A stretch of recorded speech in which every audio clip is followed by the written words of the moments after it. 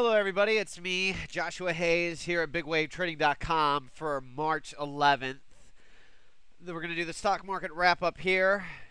MCHP, by the way, before I change, just let you know that's a nice looking possible bottom chart right there. So that's kind of a good chart.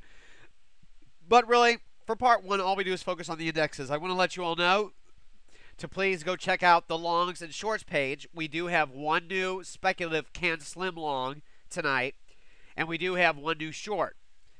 Please keep the short small, and please keep the long small because just because.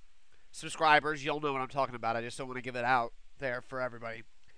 But just to let you know it's good that we have a play both up and down hedging our bets. Cut our loss fast on the one that doesn't work. Stick with the one that works.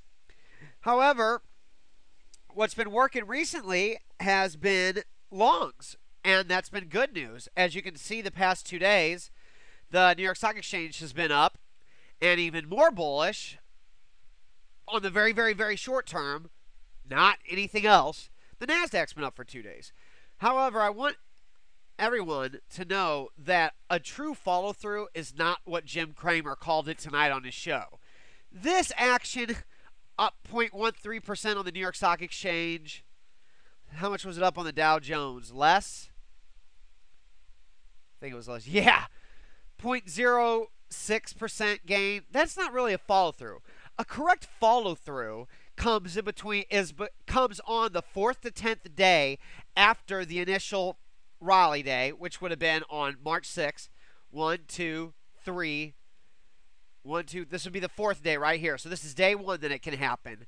And to have a follow through day, you need to have at least a 1% price gain. We have that on the NASDAQ. Oh, no, we didn't. Up 0.98%. Close enough. Let's count it. Let's just Let's just count it. And that means that that's just day one because here's the reversal day, not even an up day. So this is day one. This is day two. So NASDAQ hasn't even gone three days yet, much less the fourth day, to actually have a true follow through day. So anybody that's saying that today is a follow through day, they don't know the technical definition based on price and also based on volume. See this chart here in the middle? Volume bars okay, volume was lower than the day before, and volume was lower than the day before on the New York Stock Exchange. For a correct follow through day, volume must be higher than the day before. Don't remember what a correct one looks like? Let's jump back to 2003, shall we?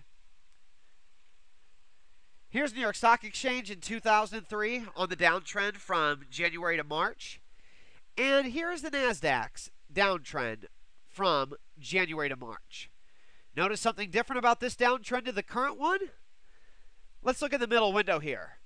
See the yellow volume, 50 day volume average? See all the volume bars below it? On the way down, do you see the two green bars above the yellow line? How many red bars do you see above the yellow line from February to now? None? Correct. So there was actually accumulation on the way down, right?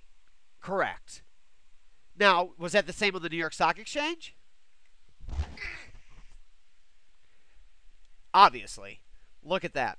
Besides the first initial three selling days in February, you had complete accumulation in the downtrend one, two, three, four, five days compared to all the volume on the sell days below the 50 day volume average. As you know now, going to now, right now, Look at the volume on this downtrend, New York Stock Exchange. Look at the volume on this downtrend in the NASDAQ. What's different? See the big, tall, heavy volume bars? Let's go back to 2003. See all the big, tall green bars? And with the no big, tall red bars? Now let's see what happened as people got bearish. Do you think anybody right here was talking about a potential bottom? Let's zoom out. We've been in a downtrend since the March top in 2000, one year, two years. We're three years into a downtrend of 74%. Do you think anyone was calling a bottom then? If your answer is no one was, you are correct. Right now, though, everyone's talking about a bottom. Normally doesn't work out. Now in March, let's t- see March's follow through day. This would be day one of the rally attempt. Let's go look at the New York Stock Exchange now. Ugh, still a down day. Let's go look at the Dow Jones Industrial Average. Nice reversal though intraday. See the big tail? Ah, the Dow Jones day's up. So it's day one technically. Only one it's not is on the S&P 500. And that's off just barely. S&P 500. Oh, S&P 500 is up. Only the New York Stock Exchange, excuse me. So uh, basically everyone has an update. Day two of the rally. Oh, a big update on big volume. Well, how much is it up, by the way? Day one. 0.43%. How much is it up on the big up day? 3.45% on the SP 500 and 4.81% on the NASDAQ. Wasn't the NASDAQ up a whopping 7% yesterday? And wasn't the New York Stock Exchange not up only 3%, but up like right around 6%? I think we all know the answer. So obviously, the out of control buying yesterday wasn't so out of control back in 2003 for the SP 500. Now let's look at the third day of the rally attempt. Oh, Cramer's follow through day on S&P 500 on the New York Stock Exchange, I assume also for him, the Dow Jones Industrial Average and the Nasdaq probably. He'd probably call it. even though it was a down day, down 0.03%, but it'd be holding in there, so it's fall through day. However, this is not a fall through day. What is a fall through day is on the 4th to 10th day after the rally attempt which would be starting tomorrow, March 15th, 2003. Remember, we're in 2003 right now. We're not in 2009 when we're doing this. Here comes day four. Boom! Up 3.88% on huge volume. Is that up 7%? No. New York Stock Exchange up 3.07% on stronger volume.